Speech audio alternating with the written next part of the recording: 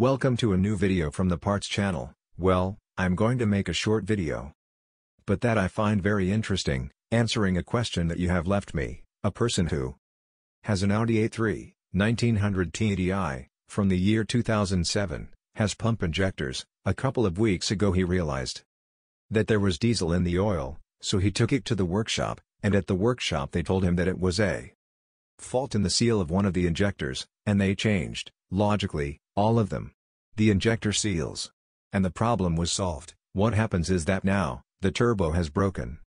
And you ask, can that fact be related to the fact that the turbo has broken? Now? Perfectly, look, I'm going to show you a video, here there was also a similar problem. With one of the injector gaskets, and all the gaskets were also replaced, look. There you see the oil dipstick, which is quite a bit above the maximum, you can see the color. And you can feel to the touch that there is diesel, which is what this person will have realized. This test can be done by any of you, to see if you have a problem.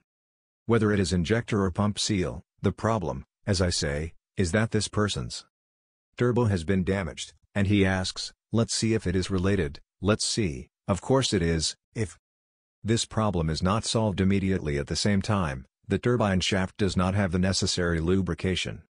Because the diesel displaces the oil, also has a detergent effect, and does not lubricate in the same way as the engine oil itself, which causes premature wear of the turbo turbine.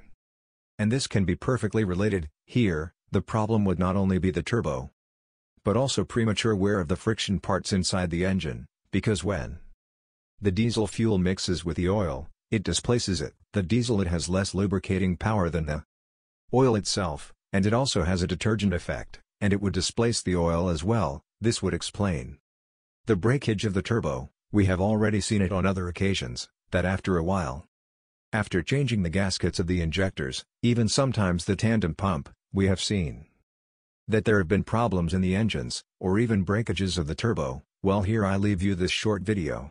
If it has been useful to you, then don't forget to give a like and subscribe to the channel.